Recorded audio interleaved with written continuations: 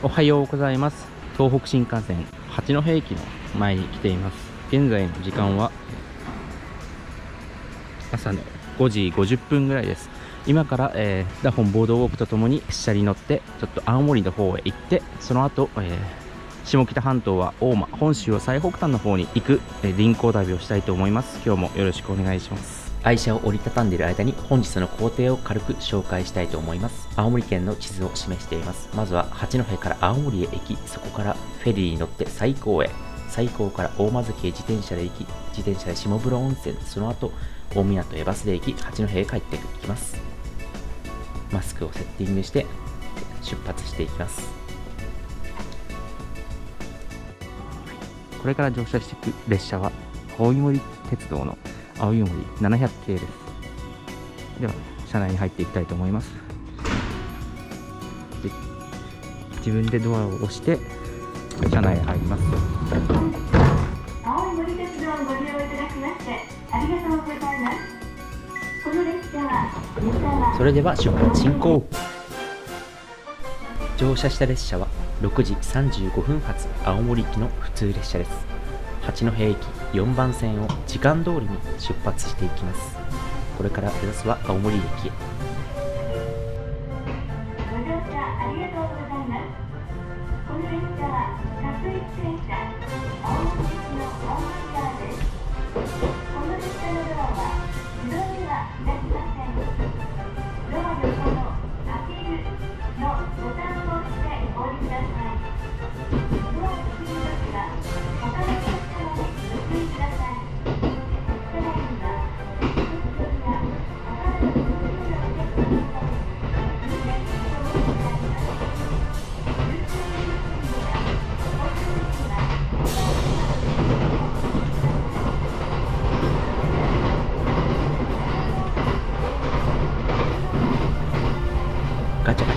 入れ替え設備を通り過ぎていくと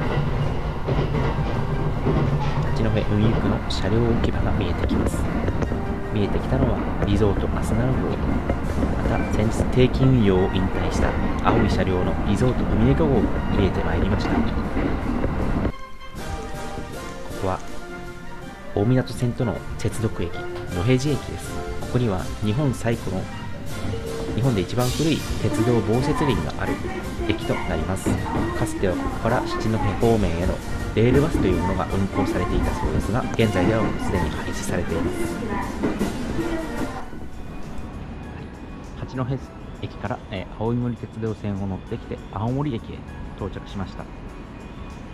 青森駅はかつて、えー、青函連絡船との連絡駅でこのこの奥の方向に見える、えー、古線橋があるんですけどそこから連絡船へ直接乗ることができました。この青森駅は現在青森駅の新築工事中で現在の駅舎の隣に新しい駅舎を建設中です。ここは、え新しい駅舎の古線橋の部分ですね。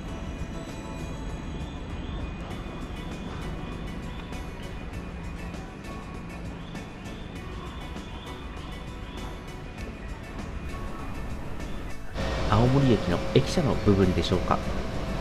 現在基礎工事のようなものが進行中です。まだ8時。過ぎたばっかりだというのに作業員の方々朝早くからありがとうございます。ではこの青森鉄道のモーリーくんの前で自転車を展開していきます。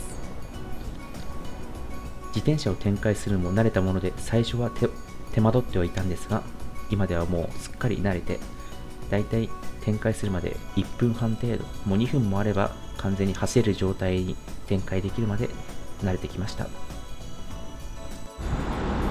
い。青森駅で自転車を展開してこれからちょっと朝ごはんを食べに行きたいと思います。朝ごはんを食べるのが、えー、青森魚菜センターというところがありましてそこで、えー、のっけ丼という丼を片手にいろんなお店から、えー、自分の好きな海鮮丼を作るのっけ丼というものができるお店うんと市場がありましてそこで朝ごはんを食べたいと思います。向かったのは青森駅から自転車で5分程度古川にある青森魚菜センターというとこです。別な動画とブログで詳しく紹介しております。概要欄からアクセスしてみてください。市場内はこのような感じでチケットを10枚のチケット1500円を購入しチケットでそれぞれの空台を交換していきます。あありがとう。はい。はい。できた海鮮丼がこのような感じです。このうちの半分ぐらいがマグロとなります。これからマグロ丼と比較したいと思います。ごちそうさまでした。ここは青森駅東口からちょっと海の方へ行ったところにあります。ここには A ファクトリーという JR 東日本の子会社が運営するお土産ショップがあります。この中には青森の県産品、青森土産たくさん置いてますので、ご覧になってみてください。この赤い建物はねぶたの家わらっせという建物になります。さらに青森駅を海の方へ行くと、ここにかつての青函連絡船への古線橋がありました。現在では東西への自由通路となっています。この奥に青函連絡船八甲田丸が展示されています。はい、青森駅から歩いて10分ぐらいのところにあります、青森港旅客船、旅客船ターミナルです。ここから、えー、西村、最高行きの、えー、フェリーが出てますので、これに乗って下北半島の方へ向かっていきたいと思います。これから乗船するフェリーです。警笛の合図とともに、作業員の方々が入港に向けた準備をし始めました。僕はこの船に乗って西村最高へ行きます。またダホンもこの船で臨港するのは初めてとなります。ダホンが船の中へ案内されていきました。乗船運賃とは別に800円程度で自転車を運搬することができます。乗船する船がポーラースターという高速旅客船となります。この日は晴れてはいましたが沖合が沖合は少し波が強いらしくてかなり揺れるということが事前にアナウンスされておりました。船酔いが心配される方は船の後ろの方の座席を取ることをお勧めします。では船内の方へ入っていきます。この日の乗客は10名程度でした。まず最初に船内に入っていき船内の様子を見ます。後方座席は窓側が 3, 3席。真ん中に 2, 2列席です。前方の方は222の1列に6席ありました。ソーシャルディスタンスも確保されて、いざ出発します。青森港旅客ターミナルを出港すると、出迎えの方だったり、家族の方が手をこちらに手を振ってくれていました。ありがとうございます。